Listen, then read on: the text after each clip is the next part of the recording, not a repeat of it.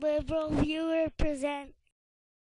So, President Barack Obama gave a great speech this week to a joint session of Congress on health care reform, laying out a roadmap for legislative compromise based on reasonable goals that will be good for the American people. But some in the audience were apparently beyond reason, as evident in one of the most talked about incidents from the speech when South Carolina Republican Congressman Joe Wilson shouted out, You lie, during the part of the speech you can see here.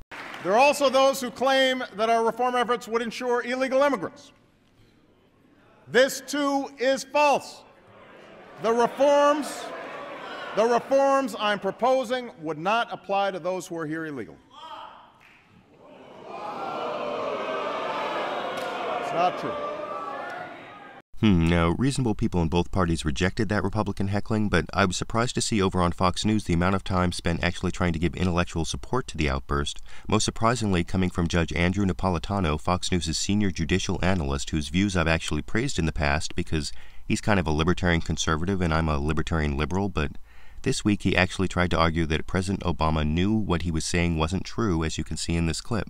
The president knows that the federal law requires that whatever health care is made available must be made available to citizen and non-citizen alike and under non-citizen to lawful resident and illegal resident alike. Now, not only does Judge Napolitano not explain how he knows what President Obama knows, but he also misstates the federal law because the Personal Responsibility and Work Opportunity Reconciliation Act of 1996, which was that big welfare reform law passed by the Republican Congress and signed by President Clinton, includes Title 8, Section 1611 of the U.S. Code, which specifically excludes illegal and even temporary immigrants from receiving federal benefits. And you need to remember that federal law when I finish refuting Judge Napolitano's argument after he finishes his point here. We know this because in the state of California, they recently enacted a proposition.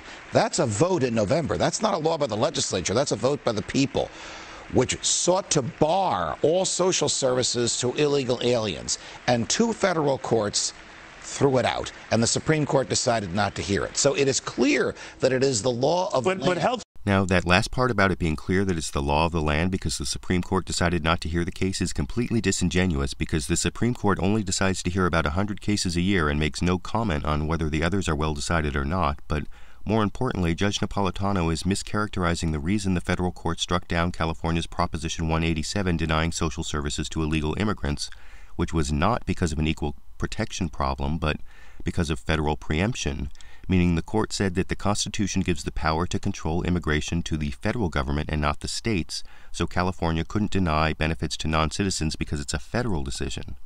I know all this because earlier this year, when California budget problems started hitting the local governments really hard, Sacramento County, where I live, decided to stop giving non emergency medical services to illegal immigrants, and I spent time researching the law in this area for a letter in opposition from my local ACLU chapter that you can find at aclusac.org slash node slash 149.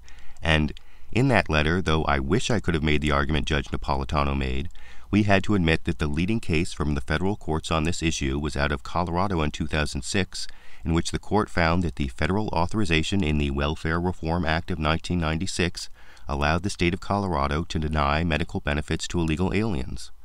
The Supreme Court did not review that case, which leaves the law unclear nationwide, but that didn't stop Judge Napolitano from repeatedly telling his Fox News viewers that excluding illegal immigrants from health care reform would be against the Constitution and that President Obama knows it, as you can see again in this clip. It would be against the Constitution if Obamacare became law and, only, and it only applied to citizens. The courts would force the federal government to make it available to non citizens alike, and the president who once lectured at the University of Chicago Law School must know that this is the law. So Huh, and there it is again, the bald assertion of what President Obama must know, even though it's based on a misstatement of the law, which is just dishonest, I think, but I want to know what you think. How can Fox News' senior judicial analyst be so sure that excluding illegal immigrants from health benefits would be struck down as unconstitutional when federal law has allowed such exclusions for over a decade, and such exclusions have been implemented in Colorado, California, and other states without a successful legal challenge?